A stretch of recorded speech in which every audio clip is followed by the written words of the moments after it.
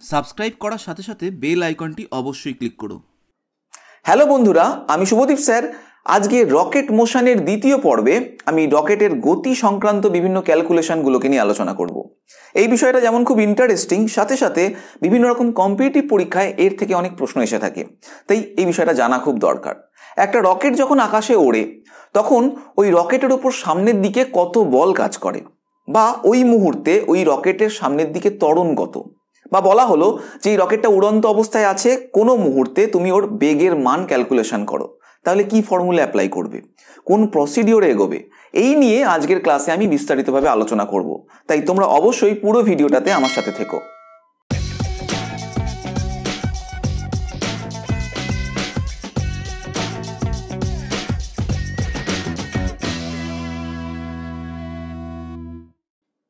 রকেটের গতির ক্যালকুলেশন বুঝতে হলে ওর স্ট্রাকচারটাকে অল্প স্বল্প জেনে রাখা প্রয়োজন। রকেটের স্ট্রাকচারের ম্যাক্সিমাম পার্টেই থাকে ফুয়েল বা জ্বালানি। একে আবার প্রোপালেন্টও বলে। প্রোপালেন্ট কথার অর্থ হলো যে এক ধরনের কেমিক্যাল সাবস্টেন্স যেটা দাহ্য হওয়ার ফলে খুব উচ্চ চাপের গ্যাস উৎপন্ন করে। এবং সেই উচ্চচাপের গ্যাস ওই ছোট্ট জায়গায় আটকে থাকতে না পেরে ওর মধ্যে যে ছোট্ট ছিদ্র পায়, যাকে নজল বলা হয়, সেখান দিয়ে খুব দ্রুত বেগে বাইরে বেরিয়ে আসে। ফলে রকেটটা সামনের দিকে এগোয়। এবার রকেটের গতি এখান থেকে আমরা যদি শুরু করার চেষ্টা করি, দেখো রকেটের ওই ছোট্ট নজলের মধ্যে দিয়ে যে মুহূর্তে জ্বালানিটা বাইরে বেরিয়ে আসছে, সেই সময় ওর নিজের ভর কিছুটা পরিমাণ হ্রাস পায়। তো ধরলাম সেই মুহূর্তে যখনও লঞ্চ প্যাড থেকে উঠে যাওয়া শুরু করছে, সেই সময়ের টাইমটাকে আমি জিরো বললাম এবং তখনকার ভর এম জিরো এবং ওই মুহূর্তে অল্প একটু বেগ সে পেয়েছে যাকে আমি ভি জিরো বললাম। এবার রকেটটা তার পরবর্তী মুহূর্তে চলে গেল, যেখানে আমি t equals to capital T বলেছি। তাহলে এইটুকুনি সময়ের মধ্যে ওর জ্বালানি খরচা করার মাধ্যমে ও সামনের দিকে এগিয়ে গেল। তার মানে ওর ভেতরের যে জ্বালানির ভর ছিল সেটা কমে গেল। ফলে ওভারঅল রকেটটার ভর আগে যেটা ছিল এম জিরো সেটা থাকবে না। তাই চেঞ্জ হয়ে গিয়ে এখনকার ভর ধরে নিচ্ছি এম টি হয়ে গেল। যেহেতু ভর হ্রাস পেয়েছে, তাই রিকয়েলের জন্য, আমরা জানি নিউটনস থার্ড ল অনুযায়ী প্রত্যেক ক্রিয়ার সমান ও বিপরীত প্রতিক্রিয়া আছে, তাই রকেটের ওপর সামনের দিকে একটা বল কাজ করবে এবং তার জন্য ওর বেগের পরিবর্তন হবে। এবং তাই ওর ভি জিরোটা পরিবর্তিত হয়ে একটু বড় বেগে পরিণত হলো এবং যাকে আমি বললাম ভি টি হয়ে গেল। এবার এই এম জিরো আর এমটির মধ্যে আমি বুঝতে পারলাম যে এমটি হচ্ছে এম জিরোর থেকে ক্ষুদ্র এবং ভিটি হচ্ছে ভি জিরোর থেকে বেশি। এই যে ভর হ্রাস হলো, বেগ বৃদ্ধি হলো, এই বিষয়টাকে মাথায় রেখেই আমরা এর গতির ক্যালকুলেশনগুলো করার চেষ্টা করব। তো আমার গত ক্লাসে কোনো পরিবর্তনশীল ভরের বস্তুর ওপর সামনের দিকে যে ঘাত কাজ করে, তার ফর্মুলা ক্যালকুলেশন করার পদ্ধতি শিখিয়েছি। আজকে ওই ফর্মুলাটা ডাইরেক্ট অ্যাপ্লাই করব। যারা ওই ভিডিওটা দেখনি, ওপরের আই বাটনটা ক্লিক করলেই ভিডিও লিঙ্ক পেয়ে যাবে। চলে আসি এই রকেটটায়। এই রকেটটার ভর সময়ের সাথে সাথে কমছে কারণ জ্বালানির আকারে ওর মধ্যে থেকে কিছুটা করে গ্যাস বাইরে বেরিয়ে এসে নষ্ট হচ্ছে। তো ধরলাম প্রতি একক সময় এই নির্গত জ্বালানি বা গ্যাসের ভর হলো ডিএমটি ডিটি এখানে আমি মাইনাস সাইন দিয়েছি। তার কারণ সময়ের সাথে সাথে এই ভরের পরিমাণ কমছে, তাই মাইনাস সাইনটা এখানে খুব ইম্পর্টেন্ট এবার ওই যে গ্যাসটা বাইরে বেরিয়ে আসছে, তার বেগ ধরলাম ভি এক্সস্ট বা নির্গমন বেগ। একে আমরা গত ক্লাসে রকেটের সাপেক্ষে জ্বালানির বেগ হিসাবে বলেছিলাম, অর্থাৎ ভি রিলেটিভ তাই ভি এক্সস্ট আর ভি রিলেটিভ এই দুটো একই বেগকে বোঝাচ্ছে। তাহলে রকেটের ওপর সামনের দিকে যে ঘাত কাজ করছে, তার ফর্মুলাটা কি হবে?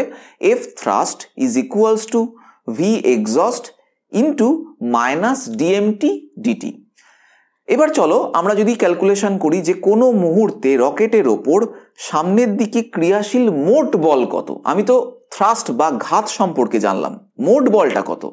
তো মোট বল হচ্ছে ওই রকেটের ওপর সামনের দিকে ক্রিয়াশীল ঘাত আর রকেটের ওজনের বিয়োগ ফলের সঙ্গে সমান।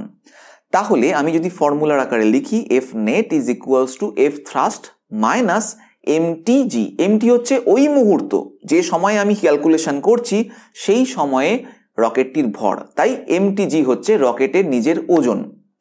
তাহলে সামনের দিকে যে বলটা কাজ করছে, সেটা কিন্তু ঘাত বল নয়। এটা নিয়ে ভুল করবে না।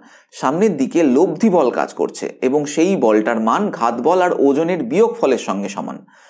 এবার এই ফর্মুলার মধ্যে যদি এফ থ্রাস্টের ভ্যালুটা বসাতাম, তাহলে এই ফর্মুলাটাই হয়ে যেত v exhaust into minus dmt dt minus mt into g এবার আমি যদি বলি যে বুঝে গেলাম, তাহলে রকেটের বেগ কোনো মুহূর্তে কত ক্যালকুলেশন করব কি করে? তার জন্য আমাকে ফার্স্ট ত্বরণ সম্পর্কে জানতে হবে। কারণ ত্বরণ হচ্ছে ওর সামনের দিকে, কারণ বল আছে ওর সামনের দিকে। এবার ত্বরণ থেকে আমি ইন্টিগ্রেশনের মাধ্যমে ওর বেগ ক্যালকুলেশন করতে পারি। তো চলো আমরা ওই ফর্মুলা যেটা এফ নেট পেলাম, তার থেকে স্টেপে স্টেপে প্রথমে ত্বরণে যাব, তারপর বেগে যাব। তো প্রথমে আগে তরণটা চলে আসি। যেহেতু এফ নেট সামনের দিকে কাজ করছে, তার মানে তরণও সামনের দিকেই আছে এবং তরণটার ফর্মুলাটাকে আমি এইভাবে লিখতে পারি mt into a equals to v exhaust into minus dmt dt minus mt into g তাহলে তরণ এ ইকুয়ালস টু এরকমভাবে আমি এমটিটাকে তলায় নিয়ে চলে আসলাম, ডান দিকে। তাহলে ইকুয়েশনটা এরকম হলো। তাহলে এই ফর্মুলা থেকে যদি আমি বেগের ক্যালকুলেশন করতে চাই, তাহলে তরণ এ কে আমি লিখতে পারি dv dt is equals to ডান দিকের পার্টটা একই থাকছে so v exhaust by mt into minus d mt dt minus g এবার এই ফর্মুলার থেকে ভেলোসিটির মান নির্ণয় করার জন্য আমি এটাকে ইন্টিগ্রেট করব। এবার ফার্স্টে ইন্টিগ্রেট করছি আমি ডিটি রেসপেক্টে দুদিকেই। তাহলে dv dt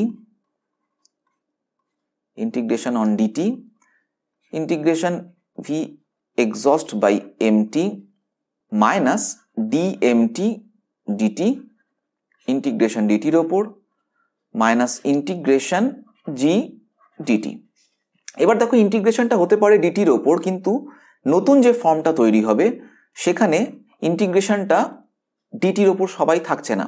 যেমন এখানে এই ডিটি ডিটি থাকার জন্য এটা হয়ে যাচ্ছে ডিভির ওপর ইন্টিগ্রেশন ঠিক একই কারণে ডান দিকে এই ডিটি ডিটি থাকার জন্য এটা ইন্টিগ্রেশন হচ্ছে v exhaust by mt into minus dmt অর্থাৎ এখানে ডিএম এর ওপর ইন্টিগ্রেশন মাসের ওপর ইন্টিগ্রেশন কেবলমাত্র একদম লাস্ট টার্মটা জি ডিটি যেটা, সেটাই শুধুমাত্র টাইমের ওপর ইন্টিগ্রেশন চলো এবার এর মধ্যে আমি আপার লিমিট লোয়ার লিমিট বসিয়ে ওর এই সময়ে বেগ কত হওয়া উচিত সেটার ক্যালকুলেশন করে নিই।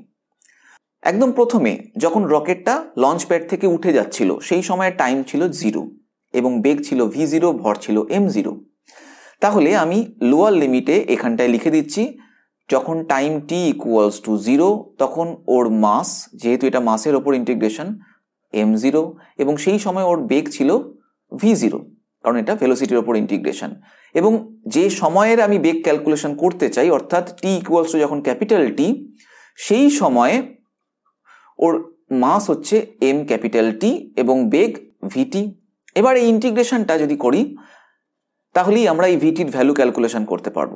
দেখো ডিভির ইন্টিগ্রেশন করলে ভি হয়, এবার আপার লিমিট লোয়ার লিমিট বসালে এটাই হয়ে যাচ্ছে vt minus v zero is equals to v exhaust মানে জ্বালানির নির্গমন বেগ, যেটা সময়ের সাথে সাথে ধ্রুবক থাকে।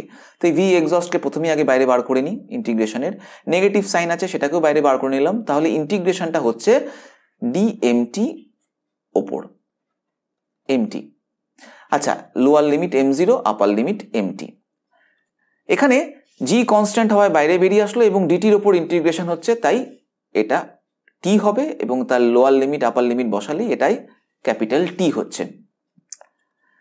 এবার এই পার্টটাকে ক্যালকুলেশন করতে হবে। তাহলে vt minus v zero is equals to minus v exhaust এই পার্টটাকে ইন্টিগ্রেট করলে আমরা জানি লন এম টি হয়।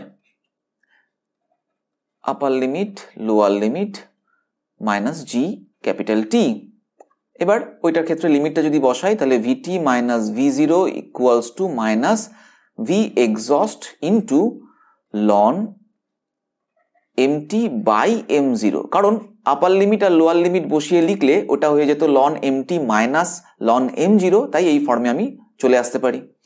মাইনাস জি ক্যাপিটাল টি তাহলে ফাইনাল ভেলোসিটি কি হলো? That is vt vt is equals to v জিরোটাকে ডান দিকে নিয়ে যাচ্ছি।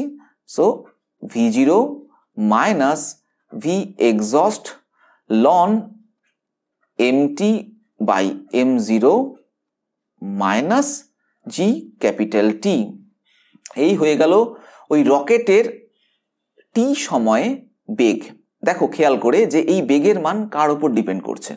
এক নাম্বার টাইমের ওপর তো ডিপেন্ড করছেই। সাথে সাথে ওই জ্বালানির বেগের ওপর ডিপেন্ড করছে এবং ওর ভর হ্রাস পেয়ে যেটা হলো, সেটার ওপরও ডিপেন্ড করছে। এই হচ্ছে ওই কোনো রকেটের কোনো মুহূর্তে বেগের ফর্মুলা তো যদি আমরা পুরো বিষয়টাকে রিভিউ করি, কি শিখলাম আজকের ক্লাস থেকে? এক নম্বর, যে কোনো উড়ন্ত রকেট থেকে যে গ্যাসটা নির্গত হয়, সেটা ধ্রুবক হারে নির্গত হয়। তার বেগের মান যদি ভিএক্স হয়, সেটা ধ্রুবক হয়। এবং এর অর্থ হচ্ছে যে ওর মধ্যে যে জ্বালানিটা আছে, সেই জ্বালানিটাও নির্দিষ্ট হারেই ক্ষয়প্রাপ্ত হচ্ছে। তার মানে মাইনাস ডিএমটি ডিটি এটাও ধ্রুবক থাকে। এক নম্বর। দ্বিতীয় নম্বর, রকেটের ওপর সামনের দিকে যে বলটা কাজ করে, সেই বলটা ঘাত নয়।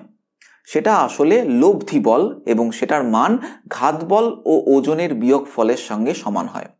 এবং লাস্ট যেটা বুঝলাম যে কোনো গতিশীল রকেটে যে কোনো মুহূর্তে তুমি বেগ নির্ণয় করতে পারবে এবং তার জন্য তোমার ওই সময়টাকে জানতে হবে।